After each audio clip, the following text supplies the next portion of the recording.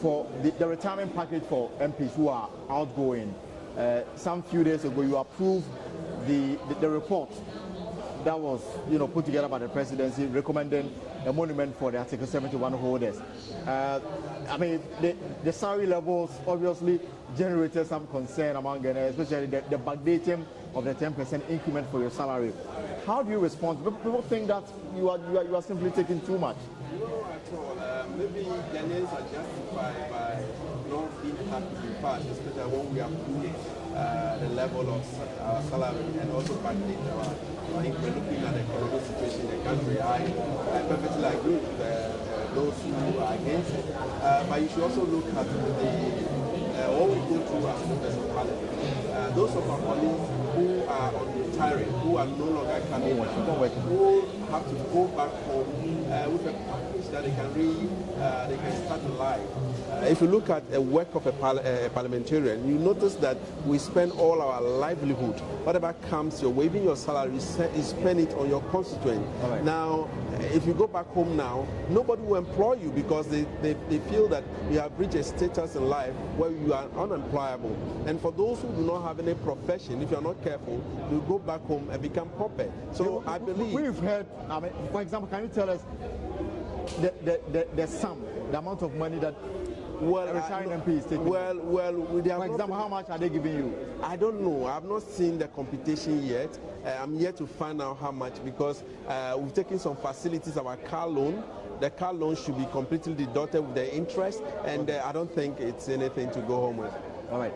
I don't know whether you've located your new sitting. Yes, I've moved forward a little bit. Uh, I'm now on the just the sec two second seat after the front bench. All right. Thank you very much. I want to say thank you very much. Honorable Bedzrah is member of parliament for Ho West, and uh, Mr. Adongo is uh, incoming member of parliament for Zebilla. I want to say thank you. I wish you well in your first, you know, uh, time in parliament. I hope that we'll see more of you. So, folks, we, we, are, we are just building up to what is to come very soon.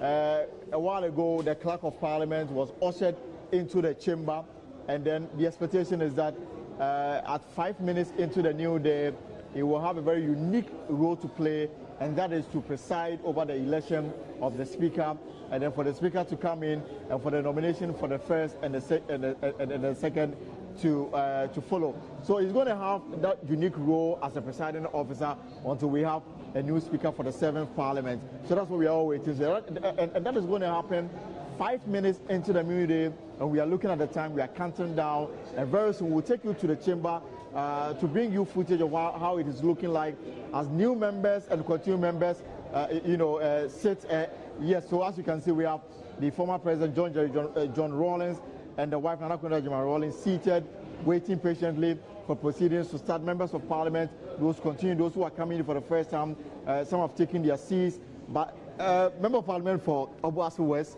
uh, Kwaku uh, I don't know whether you've been there to locate where you'll be sitting. Yes, I have. Congratulations once again. Thank you. Thank and you then, so much. Uh, how ready are you to function uh, on the majority side? Well, we, we are ready to do the work of the majority. We've been in the House for, at least speaking for myself, for four years. We know now how the House works. We understand the role of the majority. And Ghanaians have expressed great confidence in us as a political party. The optimism out there that we will deliver is high, and we're confident that we will deliver on on the commitments we have made to the people of this country. Mm. And those Tall of us, list of promises you've made to Ghanaians. We will, we will, and we will be open and sincere with Ghanaians and the majority side, and I'm confident we will be supported by the minority side, would join us in that enterprise to deliver to the people of this country the reasons uh, that, that motivated the kind of voting we, we have seen in this election. All right, so, so after this is done with, and we have a new president in Nana Addo Dankwa Akufo-Addo and Dr. Mahamudu Bawumia, uh, Parliament will come back. I'm sure that one of the key things that will be put before the House, uh, maybe for the House to consider the nominees for ministerial positions. We've been told that you are heading to the finance minister as a deputy minister.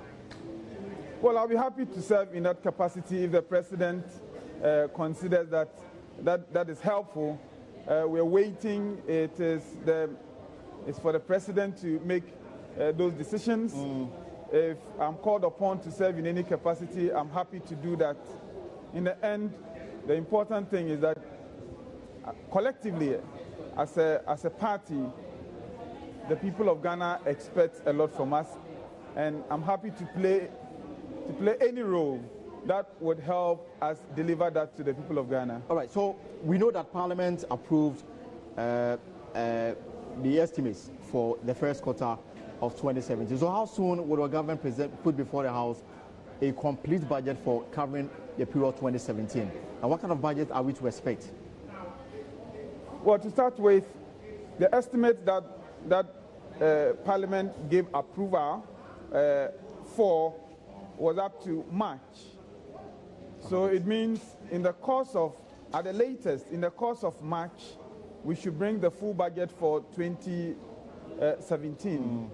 And so I think the public can expect uh, the 2017